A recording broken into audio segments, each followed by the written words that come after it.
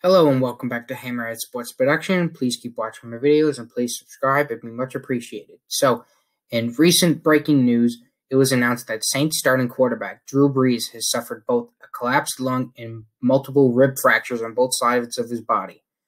Before I even get into the football aspect of this injury, I would really sincerely wish Drew Brees to the best health possible and for him to recover fully from this injury and I wish him both of his uh, both him and his family the best.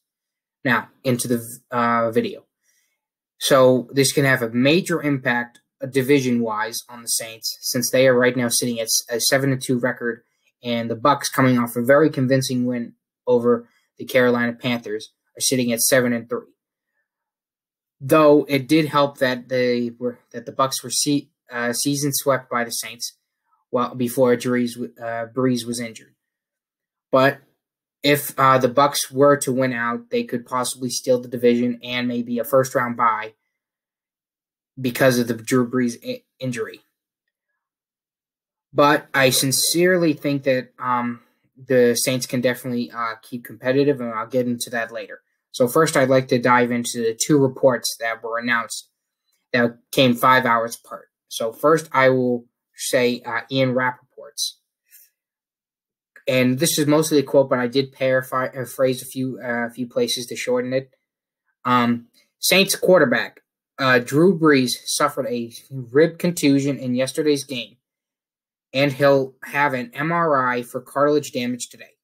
But sources tell me and Tom Pelissero that New Orleans is bracing for Brees to miss some time to fully heal. Then five hours later, Ed Werder report uh, reported Source: Results of medical evaluations performed today on Saints quarterback Drew Brees have revealed that he has multiple rib fractures on both sides of his bo- uh, chest, excuse me, and a collapsed lung. Oh, these injuries occurred over two over a two week span. It is uncertain how much time he might miss. And again, I did paraphrase and kind of change a few words, but that's most that is most uh, mostly what he the two of them said.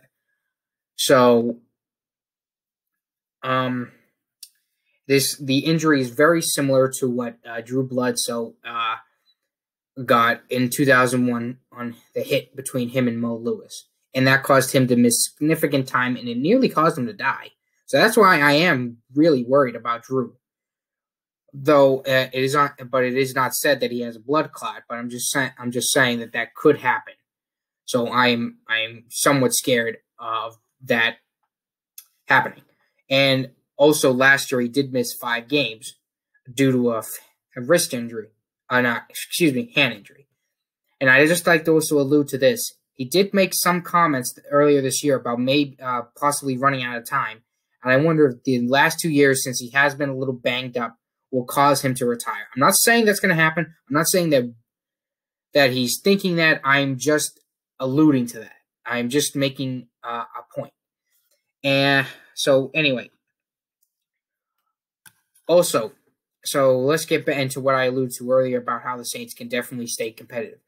The, uh, last year, this as I said, he missed five games. The Saints won all five games with uh, backup Teddy Bridgewater who played very good, and the team played very well defensively and offensively.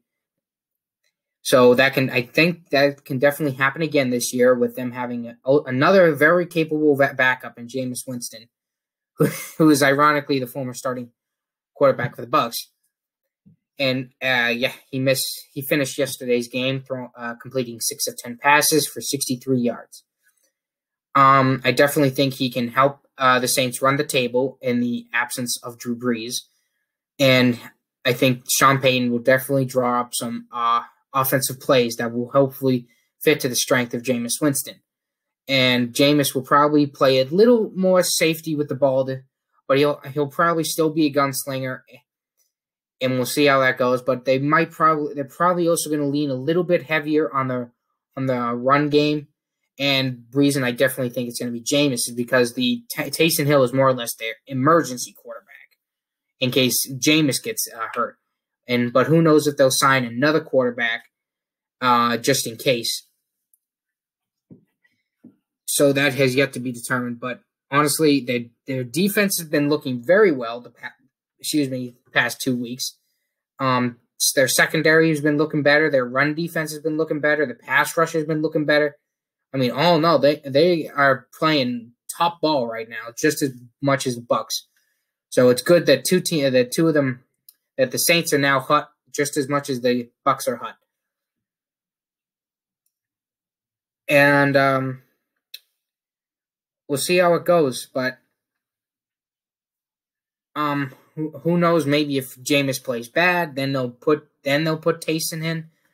But also maybe this might happen if they do if they do not win all the games that he is um injured for. I wonder if he'd try to rush back and try to get back at, st- at the starting quarterback position for the Saints and try to win out and try to help the Saints get back into the um, back into maybe getting a bye or win the division.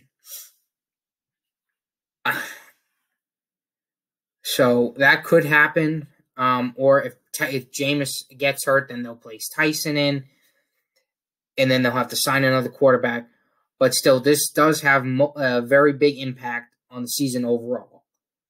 So I hope you enjoyed this video, and please subscribe, and I'll see you next time.